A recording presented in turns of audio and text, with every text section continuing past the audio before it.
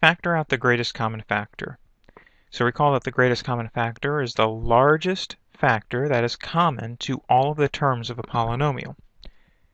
So for 6a squared plus 10a,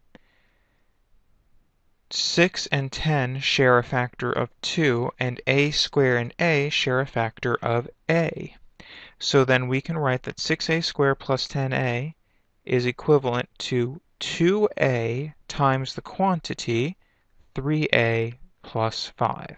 And we have factored out the GCF, the greatest common factor.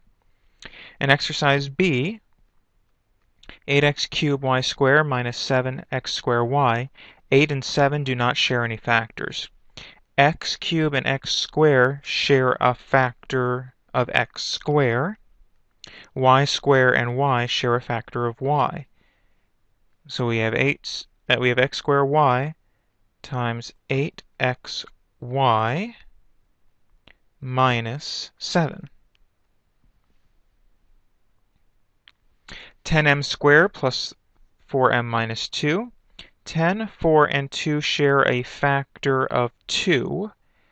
Now we cannot include any variable factors because not all of the terms include variable factors. So I can write this as 2 times 5m squared plus 2m minus 1. Now, exercise D looks a little different.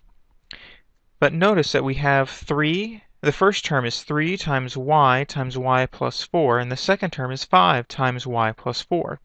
So the y plus 4 is a common factor. So I can write D in factored form as y plus 4 times something. The y plus 4 was multiplied by 3y in the first term and by 5 in the second term.